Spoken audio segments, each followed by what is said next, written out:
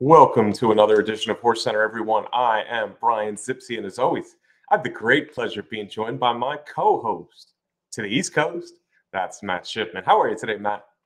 I am good. I'm top 10 today, Brian. I think. I don't know, maybe 11. I don't know. But one of my favorite shows when we do our Derby and Oaks contender top 10 lists. Yeah, Matt. Well, hey, we're less than four months out now. That's going to fly by, and uh, thought it would be a good time. A little bit slow on the uh, graded stakes front this weekend, so we thought it'd be a good time to bust out not only our top 10 for the Derby early in 2024, but also for the Kentucky Oaks. Give the Phillies their love as well. Matt, you ready to roll? I am ready. Let's do it, B. Let's pop up the Derby first, Matt. And we see a lot of Breeders' Cup horses here uh, early in the year. There are a few horses, uh, several horses that, though, have, were not in the Breeders' Cup and are starting to make themselves known late in the two year old season or even early in the three year old season. Let's start at the top, Matt. Fierceness. No surprise that the uh, City of Light uh, called uh, out of a, a Stay Thirsty mare, a Repole Homebred leads the way after his big win in the Breeders' Cup Juvenile.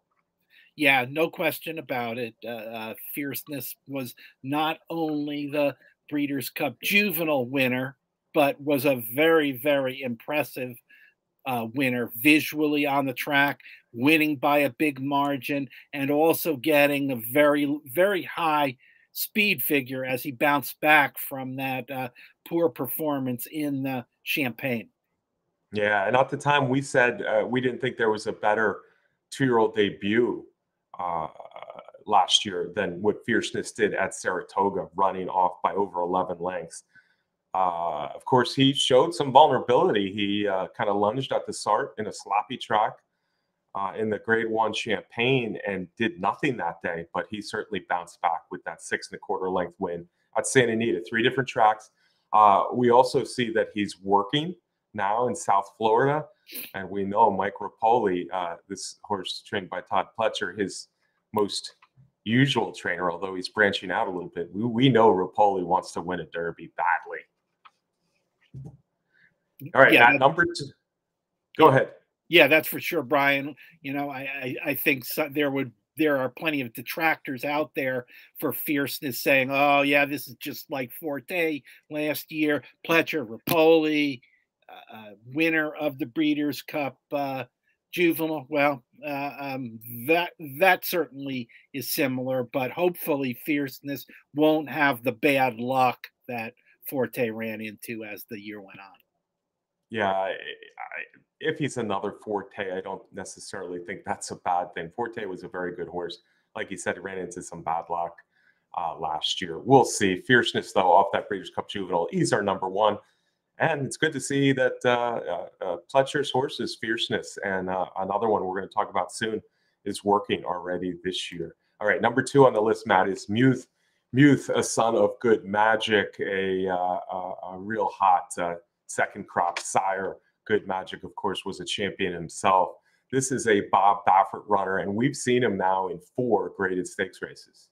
Yes, absolutely, Brian. And and Muth is not only working, he's already run this year, was a, a clear winner last weekend of the uh, of the San, San Vicente going seven furlongs. And if you watch the show, Brian and I, uh, Brian and I talked about that. You mentioned Brian, the sire, Good Magic. Good Magic is one of three sires on our top 10 list that is represented by two horses. Yeah, good magic. Uh, certainly off to a great start. And of course, he won the Kentucky Derby as a sire last year with Mage. Uh, Muth, yeah, say what you will about the fact that he won at seven furlongs, but he's been two turns. He's a grade one winner at two turns. Of course, there's the Baffert situation. Will he be transferred to another trainer in time to run in the Kentucky Derby, or will he be more of a Preakness horse? We'll find out. But the, the fact that he already has a win this year, I think, is a feather in the cap of Muth as we're looking at this list of horses who are still largely unproven. Now, number three, I guess, is unproven locked, although he is a grade one winner. That happened at Keeneland, and he did run four, what I think are four good races last year as a juvenile. Yeah, he was a winner of the Breeders' Futurity at uh, Keeneland and then ran third uh, in the Breeders' Cup uh, Juvenile behind Fierceness and Muth. Uh, um, we actually, Brian, on our list have the our top three is the same top three that you that readers of Horse Racing Nation can see on the website uh, rankings of contenders for the Kentucky Derby. Yeah, they're also the top three from the Breeders' Cup Juvenile, and that has not generally worked out as we look into the Kentucky Derby. Uh, but I, I, think last year's Breeders' Cup Juvenile was a pretty strong field, top to bottom, and uh, these horses all have a lot to like, including Locked, too in his two losses, he really finished well uh, in that debut performance. When he rallied for third, he was really running. And in the Breeders' Cup Juvenile, if you look at it, he was running well down the stretch. The son of Gun Runner, Matt, he was a four hundred twenty-five thousand dollar yearling. He has distance on both sides as out of a Malibu Moon mare. Locked is a horse who, like Fierceness, is working down in South Florida. Number five, number four on the list, Matt, more unproven than the top three, probably, but. Uh, Nysos has been pretty spectacular in only two starts. This is another Baffert. We have two Bafferts on the list right now. This is another one. The son of Nyquist is two for two, two different tracks in Southern California, and he is also working uh, uh, as we speak, or not as we speak, but he's currently working out. So Nysos, Nysos, I think we could expect to see again soon for his third career start. Yeah, working steadily uh, uh for uh, for Mr. Baffert. Uh, Nysos is by the sire Nyquist, the Kentucky Derby winner from not too many years, not too many years ago. Nyquist is another one of those horses that I mentioned that has two on uh, on our top ten list, along with Gunrunner, who was the sire of Locked. Yeah, yeah, certain sires we see over and over again here on this Derby Trail, and, and Nyquist is uh, certainly one of them. Matt, he won his maiden in 108 and change by more than 10 lengths. And then in the seven furlong grade three, Bob Hope, he won by nearly nine lengths. Effortless so far. He'll need to stretch out. He'll need to face better, bigger fields. But so far, so good, of course, for, for Nysos.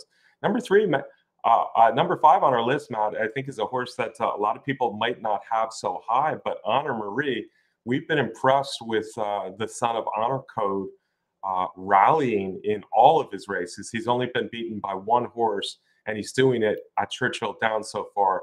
Now he's gone to fairgrounds to winter. Yep, absolutely. For uh, trainer uh, Whit Beckman, who I think Brian is a former Chad Brown assistant, uh, if I'm correct. Uh, um, yeah, Honor Marie won the Kentucky Jockey Club Grade Two, uh, and uh, and hey, it's hard to knock it when you're three for three running under the Twin Spires.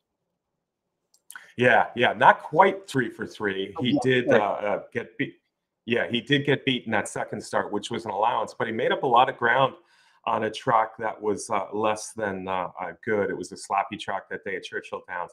And the horses that were first and third have come back well in stakes races. Of course, the winner, Otto the Conqueror, became a stakes winner down at Remington Park in the Springboard Mile. So Honor Marie, three big rallies to win his debut, second in a sloppy allowance, and then to win that Kentucky Jockey Club. Would be easy to say that he was the best horse at Churchill Downs, the best two-year-old at Churchill Downs in the fall, uh, Matt, but still very much under the radar, as you say, for trainer Whit Beckman. Uh, number six, uh, and this was a horse, uh, you know, a lot of people are loving. I had him higher on my list than you did, actually. Dornoch, Dornoch, there's that sire again, good magic. But of course, we know that there's more to the breeding of Dornoch than just the sire. Yeah, that's for sure. Dornoch uh, was a winner of the Remsen Stakes at uh, Aqueduct in December. He won that race uh, by a nose. This, I think, is one of these horses that we have on the list that uh, uh, has a good bit of upside. Uh, I don't. I don't think it's anything to worry about. He has not uh, posted a workout since that Remsen, but we're only talking about a month since then. Yeah, yeah, that Remsen was late in the year. It was uh, early December this year, so certainly not long ago. And the two horses out of the Remsen that we have on our list haven't returned to the work tab yet, but certainly very promising horses. An interesting Remsen because Dornoch came back again after Sierra Leone looked like a, uh, a certain winner in, in mid stretch, but Dornoch showed a toughness to fight back. Nine furlongs over that aqueduct track. Of course, Dornoch is the full brother to Mage. Interestingly, Matt, he sold as a yearling for 325,000. So people liked him uh, long before we knew what Mage would become. Uh, would have sold for a lot more if uh, that sale had come after last year's Kentucky Derby won by his full brother Mage. Number seven is a horse I want to see more of. Uh, Knightsbridge has not returned to the work tab since a uh, just a overpowering win uh, at Churchill Downs, and it's been a few months since he got steady during the race, and then he just exploded to win off by more than ten. Yeah, more than ten lengths, Brian. Ultra impressive. This is a Godolphin runner, and and they had you know uh, such a fantastic year last year, uh, uh, as they have uh, with so many so many well bred horses. Uh, Sierra Leone, another gun runner. Uh, sorry, uh, Night Knightsbridge another uh, Nyquist in this field. Yeah, the second Nyquist on the list. Uh, like I said, ultra impressive, but uh, we haven't seen him return. Bill Mott doesn't rush his horses. Uh, so uh, hopefully we'll see Knightsbridge return to the uh, uh, workout cycle soon. He is a, out of a Bernardini mare, Matt, and Bernardini broodmares is the most common broodmare that we see on our two top 10 lists here for the Kentucky Derby and the Kentucky Oaks. An interesting thing if you're uh, looking uh, looking at Bernardini as the broodmare sire of a lot of these promising young horses. Number eight, we talked about a little bit already. Son of Gun Runner, there's Sierra Leone. I like this horse, Matt. Um, it, it, you know, I'm not saying much in saying that I like this horse. He was a $2.3 million yearling purchase. So the most expensive horse we're going to talk about today the son of Gun Runner, uh, was a, I guess you could call him a facile maiden winner uh, at, at uh, Aqueduct when he debuted uh, a few months ago, but then came back with an interesting run in the Remsen. Yeah, an interesting run uh, uh, for a horse with only that one win coming up just a nose short in that in that Remsen, as we mentioned, a son of uh, gun runner, and this is the only Chad Brown trainee that we have on our top 10. So far, Matt, so far. I'm sure there'll be more Chad Browns that we talk about on this Kentucky Derby train. Uh, you know what? Uh, everybody was talking about Dornoch after the Remsen, and, and I get it. He, he looked beat, fought back, came back, and got the win in that nine furlong Remsen. But Dornoch had three races under his belt, including a, a big win at Keeneland coming in. Sierra Leone only had one race at Aqueduct. It wasn't overly impressive. It was a win. He did what he had to do to win there. He made a big move in that Remsen. And then you said short. I think he came up a little short in the nine furlong Remsen in his second career start. I, I think that's a horse who is bound to improve off that effort. But just like Dornoch, we haven't seen him back yet, although it's only been about five weeks or so since that uh, effort in the Remsen. Number nine, uh, a horse that uh, I think a lot of people can question why he we have him on the top ten when so many interesting young three year olds are not did not make it on our top ten. But of Defiance is a horse we both have liked a little bit. A quality road out of a Ghost Zapper mare, and there's that trainer uh, that we seem to be talking about so much the last three, four, five years, Brad Cox. Yes, and and a son of Quality Road. And hey, Brian, this is one thing that you and I like to do on our top 10 lists at this point in the year. We want to put in some of these horses that only have a maiden special weight victory and impressive one and impressive ones to their credit. And that certainly is uh, uh, uh, Air of Defiance trained by Brad Cox. Uh, the only Brad Cox that we have on our list right now, although he has already won uh, on the Kentucky Derby Trail uh, uh a few times this year. Uh, it's another horse that is owned by Al Gold's Gold Square stable, and the last couple years, uh, that combination of Gold Square and Cox has done pretty well on the Derby Trail.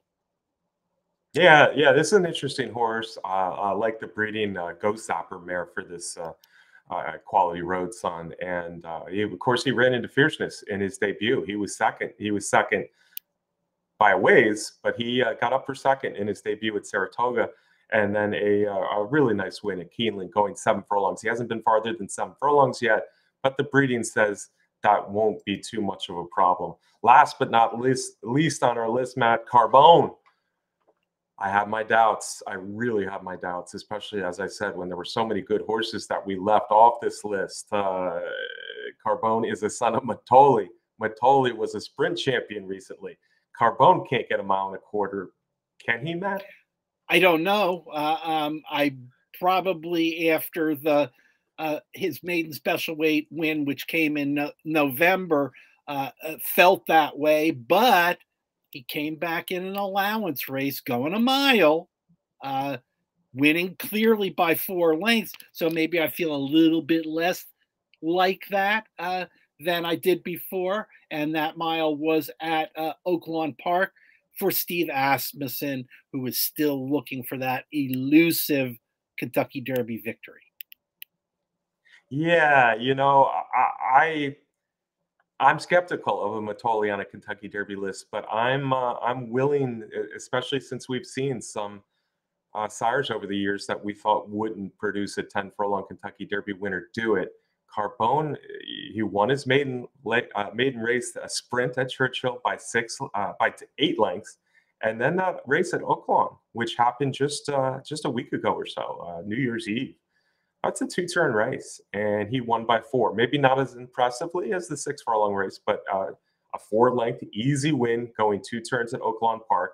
He is out of a street sense mare, so uh, uh, maybe there are things to, to to, to to tip us off that Carbone might be able to uh, at least run some very good Derby uh, prep races here and uh, see if he's the real deal on the way to the Kentucky Derby. Like I said, so many good horses we left off the list, but hey, we narrowed it down to 10. That was not easy. That's what we did for you. We hope you like the list. Tell us all those horses that we should have had.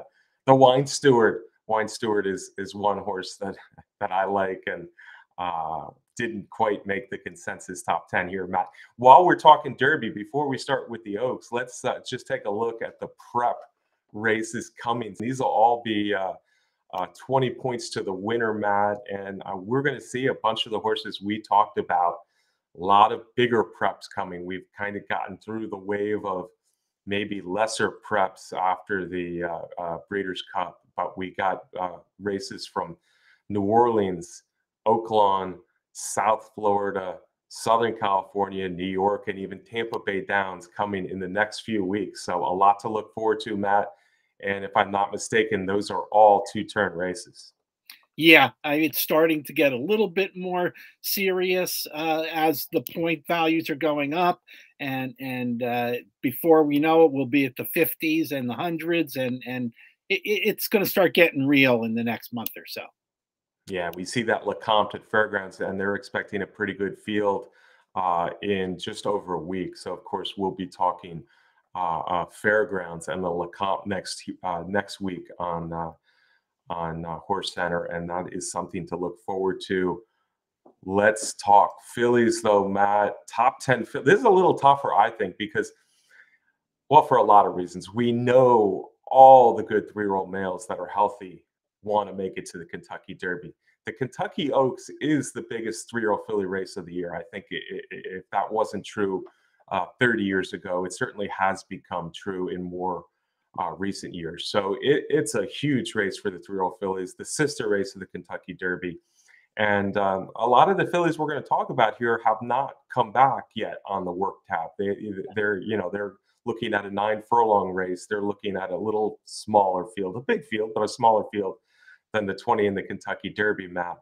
Um, so uh, it, it, it, probably is a, a, a, um, a thing where we're only going to see one or two preps for a lot of these fillies. But without further ado, I'll stop talking and we'll get to a Kentucky Derby Oaks top 10 list. Hey, we got pink. I like that, Matt. Where we've gone pink for the Kentucky Oaks.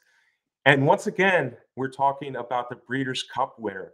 This one is an undefeated Breeders' Cup winner, just FYI.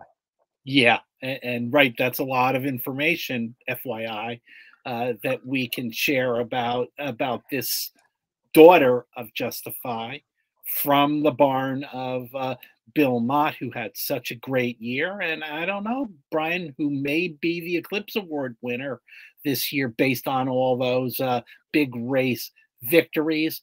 Justify broke her maiden at Saratoga, came back and won the grade one Frizette, and then on to the Breeders' Cup, getting better and better in all three starts. So, three wins, two grade ones, pretty easy to put uh, in the number one spot. One of those horses that you mentioned that hasn't worked yet. Actually, the top three on our list, Brian, have yet to work out this uh, since their last starts. Yeah, yeah. Although uh, I guess Intricate has run a little bit more recently than the top two, but that's true. And, and like I said, less less work to do, less prepping to do for the Kentucky Oaks than the males have to do for the Kentucky Derby. Just just FYI, this filly has not been overly impressive to me in any of her three wins. But you look at some of the facts here, Matt. Uh, she's won at three different tracks. She's won at different distances. She's won at different on different track conditions. She's won two grade ones already.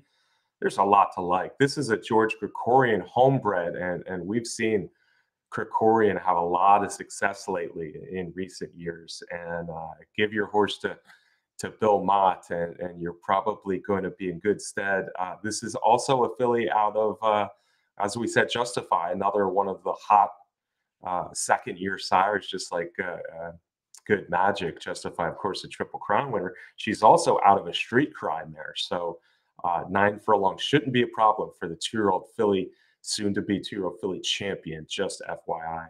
Number two is a horse that she beat last time at Santa Anita in the Breeders' Cup Juvenile.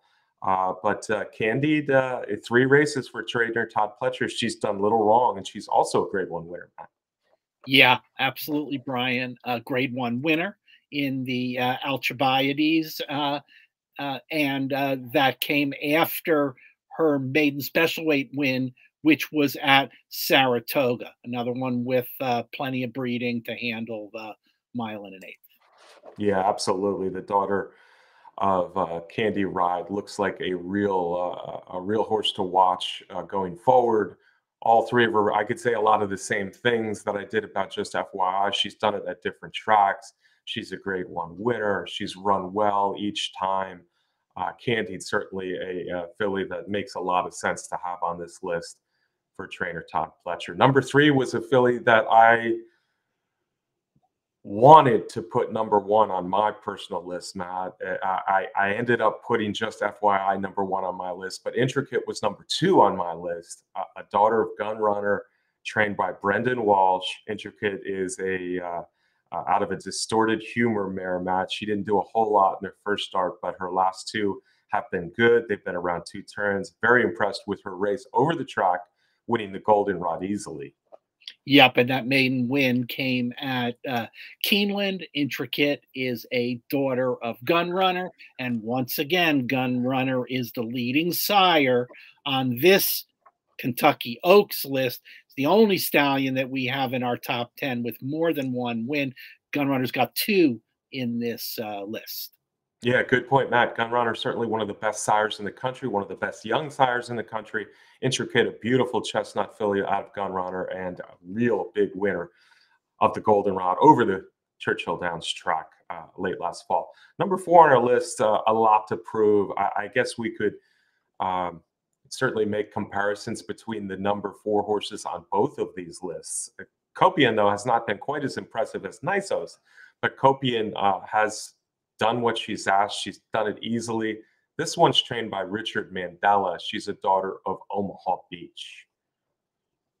Yeah, uh, a nice uh, maiden victory at Del Mar, uh, which was followed up by a grade two win in the Santa Ynez by almost six lengths, Brian. So, you know, uh, uh, this uh, filly's been impressive in her own right. Richard Mandella actually has two on our list.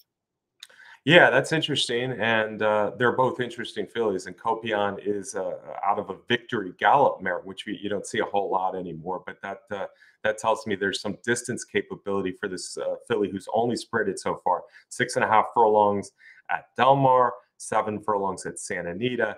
She did it effortlessly. I really don't think she beat much, including that graded stakes last time. So we'll have to see. But uh, it looks like Mandella has another good one here. Uh, number is a filly who gets very little respect, Matt, and she got very little respect on Breeders' Cup Day. But I tell you what, Jody's Pride ran a heck of a race in that Breeders' Cup Juvenile Fillies. She sure did. Jody's Pride is a daughter of American Pharoah. Uh, um, boy, we don't talk as much about the uh, uh, offspring of American Pharoah as we did uh, a number of years ago. But so uh, it's another good horse by that Triple Crown winning uh, uh, uh, sire. This one is trained by Jorge Abreu, uh, another former assistant of Chad Brown. Um, and before the the second in the Breeders' Cup, she was a winner of the Matron uh, at Aqueduct in the Belmont at Aqueduct meeting and broke her maiden at Saratoga. Yeah, I, am not sure, quite sure why she doesn't get any respect. She's out of a Scat Daddy mare, and as you said, she uh, she won her maiden race easily. It was a five and a half furlong race at Saratoga. Uh, the matron, we should note, was a race that was scheduled for the turf, and of course, that's only six furlongs. So it was uh, one of those stakes races taken off the grass. Again, she did it easily, and having never been more than six furlongs, she was finishing well. She was uh, certainly gaining on just FYI when just FYI won that Breeders' Cup Juvenile Fillies by a neck. Uh, Jody's Pride, another one who hasn't made it back to the work tab since the Breeders' Cup. But to offer three races, there's there's a lot to like for Jody's Pride. Number five, number six, Matt is Life Talk. This is the first Pletcher filly that we see on our list, and and Life Talk is one of the more experienced fillies in, in the field. Uh, Life Talk is one of those out of a Bernardini mare, $335,000 yearling purchase for owner Mike Repole. And, and Life Talk um, never looked like a champion, uh, at least in her first four races, Matt, she uh, kind of improved slowly.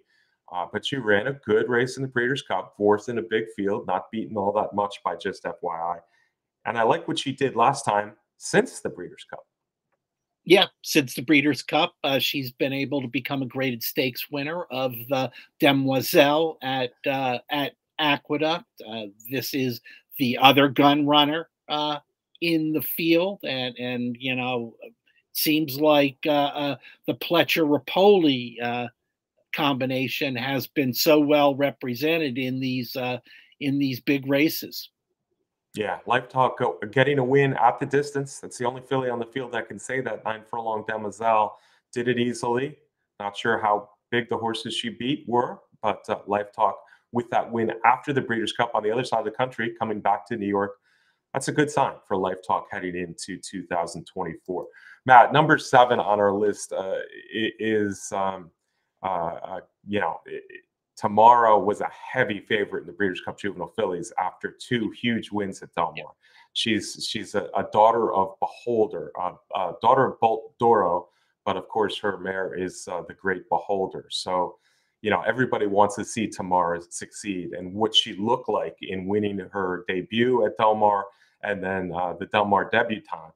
Uh, she looked like the real deal. She headed into the Breeders' Cup Juvenile Fillies, was a heavy favorite didn't run much at all. She was close early and she backed out to finish uh, seventh in that Breeders' Cup Juvenile Fillies, but she came out of the race with an injury. Uh, we'll see. I mean, there's a lot to like. There's a lot to worry about if we're talking Kentucky Oaks because she, uh, you know, hasn't been back obviously since the Breeders' Cup Juvenile. Mandella said it was a minor injury. She'd only be out a few months. Um, Tamara could be any kind still, though.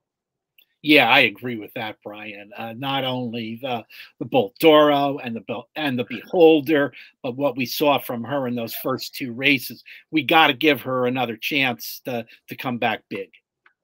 Yeah, yeah. Uh, the the injury probably had something to do with it. To me, she never looked comfortable uh, chasing a fast pace early in that Breeders' Cup Juvenile Fillies, and then we found out that she had an injury. So certainly, like Matt said, let's give her another chance. She retains a spot. Questionable whether she'll be ready for the Kentucky Oaks in less than four months. Number eight, Alpine Princess. Here's a horse for Brad Cox, Matt, and here's a horse who's got a nice recent stakes win. Yeah, and and a lot of races in already. Five races um, with three fi- three victories, most recently uh, in the Untappable at Fairgrounds, and uh, before that with an allowance win at Churchill Downs. Her maiden victory was at Saratoga. Uh, in between, in there, she was a, a little bit of a head scratching finish when she was seventh in the uh, Alcibiades. Yeah, she did not have a good trip. Uh, she did not have a good trip at Keeneland in that Grade One Alcibiades uh, mount. So I, I, think there is a little, at least a little bit of excuse. But I think part of it too is that she's getting better with every start. She looked good winning that Churchill Downs allowance race after her failure at Keeneland, and, and then she proved it at Fairgrounds, uh, winning that Untapable over some decent fillies. She looked good. She's a, a, a filly certainly likely to like a distance, uh, being a daughter of Classic Empire out of a Curlin mare. Number nine is uh, the first filly we're talking about from trainer Bob Baffert. Will she be? Uh, will she make the field from the Kentucky Oaks? Only, only if she transfers to another uh, another trainer. But the daughter of Malibu Moon, after a, she's not a typical Baffert. She wasn't a real expensive purchase as she didn't come out with a lot of precociousness, uh, losing her first three, but she's been good in her last three. Yeah, last three, three, uh, three wins. So another horse uh, with a lot of races for uh, uh as a two-year-old these days with six starts. Uh, uh, she came, she won the Starlet, a grade two, most recently at Los Alamitos, where uh, Baffert uh, wins those two-year-old races so so often. But before that, was a winner of uh, a more minor stake, the Desi Arnaz at Del Mar, and was a maiden special weight winner at Santa Anita. Well, you just mentioned three wins at three tracks in her last three starts. That Starlet win uh, around two turns, of course, and she did it by more than five lengths. Um, say what you will about the cal- the depth of quality among the California horses right now, but Nothing Like You is certainly improving and looking better and better all the time. Number 10 on our list, Matt. Uh, again, we left off a lot of good fillies. This was the last one we got in, even though she hasn't broke through in a stakes race yet. I think Central Avenue is destined to be a stakes winner for trainer Michael Stidham. Yeah, she's got that good Godolphin breeding that we were talking about uh, on the boys' side, a daughter of Street Sense. So uh, uh, this one can only get better. Was a debut winner uh, of her maiden special weight at Colonial Downs, and uh, uh, has hit the board in two big stakes. Second in the Grade One Frizette, and third in the Goldenrod. Yeah, I think she's a filly that's going to get better, the daughter of Street Sense. And for her to run second in the Frizette and her second career start off only a maiden at Colonial, I think was a little bit of a feather in her cap. She did have some a little bit of trouble in that third place finish uh, behind Intricate in the Goldenrod last year, uh, last fall. So something to watch uh, for this Godolphin homebred. Matt, just like we did with the males, let's take a quick look. This is becoming a long show, so we'll we'll make it a quick look at the Kentucky Oaks preps coming up. Uh, looks like we got one this weekend. Yeah, this weekend we've got the Busanda at uh, Aqueduct uh, and an opportunity for some of these now three-year-old fillies to go that nine furlong distance. Yeah, that that mirrors the Jerome one week lo- later, won by drumroll please for trainer Brad Cox, and then a lot of these other races are kind of sister races to male races that we saw on the male preps for the Kentucky Derby folks, I, I, hope you enjoyed our look at our top 10, our current top 10. It's sure to change quite a bit in the next few months, but that's the, the nature of the beast. Matt and I did our best to uh, uh, find our favorite uh, 10 for each gender as we uh, approach the Kentucky Derby, Kentucky Oaks. We hope you enjoyed it. Matt, let me get a parting shot from you, my friend.